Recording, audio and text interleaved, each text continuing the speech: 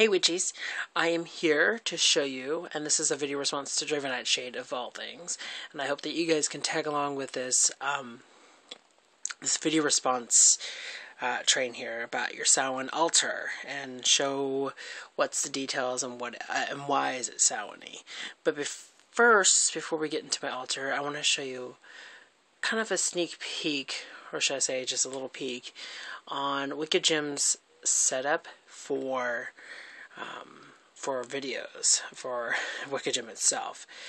Normally, I would just have my camera for my phone, as you see here, as you guys are on there. And normally, I'll just find a light and call it good. Um, bad, bad lighting, good lighting, awesome lighting doesn't really matter. It's uh, if there's lighting, I can project my face my, and you can hear my voice. It's there, but for WiccaGem stuff or other stuff that I have dearly important to me, I, I kind of set up Here you see my camera set ready and you see my bed kind of tossed aside.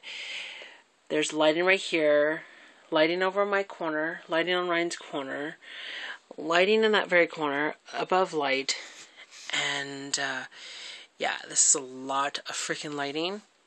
My hair is just not with me today. Um, it's a lot of lighting. Um, kind of gets warm a while. In a second, it's going to be really warm. Um, so here, here's my altar. Let me scoot my little butt over. Um, as you see, I kind of have my Hecate still the same.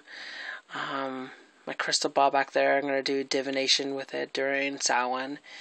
But this is going to be my first year working with uh, La Santa Morote. Morote. That's how you say it. You gotta do that. Blah, blah, blah. Uh, you see my little, my uh, Medusa right there. And uh, my cat with skulls and a little bit of more skulls. And you see I have my tarot cards set out for it.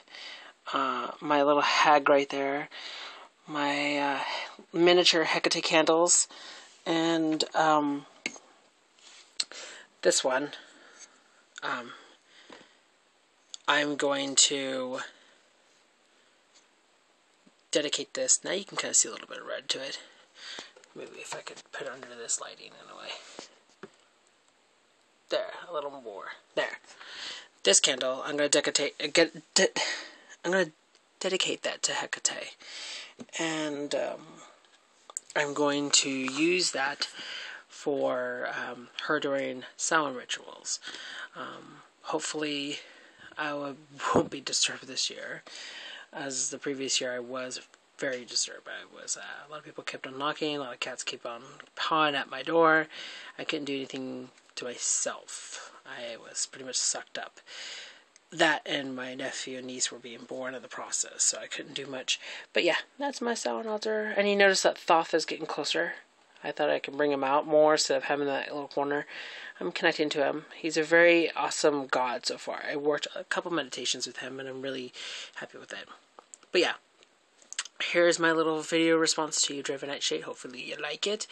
And I'm off making some WiccaGem videos. Or am I? Must be.